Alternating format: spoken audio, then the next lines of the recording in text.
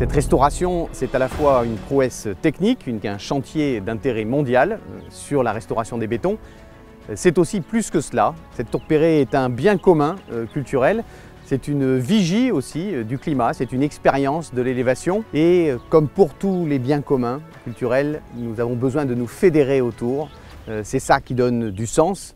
C'est autour de ces valeurs d'innovation, de ces valeurs de patrimoine et de transmission du patrimoine que nous nous retrouvons ici.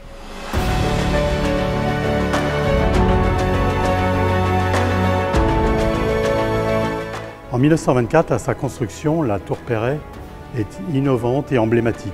La tour Perret est la première tour au monde construite uniquement en béton armé. Si la construction était emblématique, sa restauration l'est tout autant. La restauration qui s'annonce pour la tour Perret est la première opération avec des techniques matures qui bénéficient donc de l'expérience de 50 années d'essais de techniques diverses.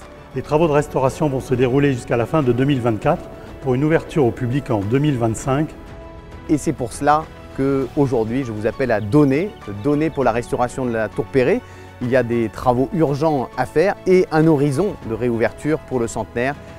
2025, euh, ça sera les 100 ans de la Tour Perret et ça sera aussi la marque d'une tour tournée vers l'avenir au service du bien commun.